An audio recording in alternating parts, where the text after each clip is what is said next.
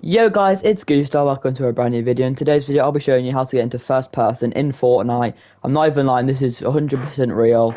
Let me just do it so I can show you guys. So first off you want to go to the discover page, go to By Epic, then go to save the world. If you don't have save the world, sorry, but this is literally the only way to do it, so hopefully if you have saved the world, um, it will work.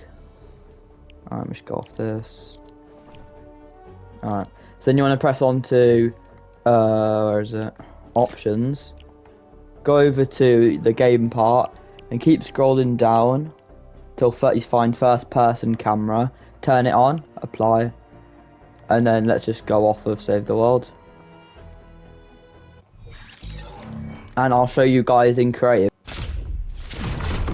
Alright guys, I'm in one of my maps. Let me just go over here. That's a bit too far. I'm just go here.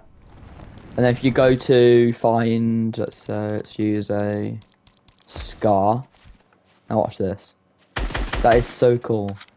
So basically, if you put this on, it'll like basically put you into first person using the scar. If you try it with like, let's say, a red eye, it'll just do this. Um, you can do this in normal games, like I said earlier. Um, so yeah, just have fun trying this out. I'm guessing it's a glitch, but obviously it's showing that first person will be added to Fortnite soon, I'm super excited for. It looks pretty cool. And uh, yeah, I hope you guys enjoyed this video. Remember to like and subscribe for more videos, and see you guys next time. Bye.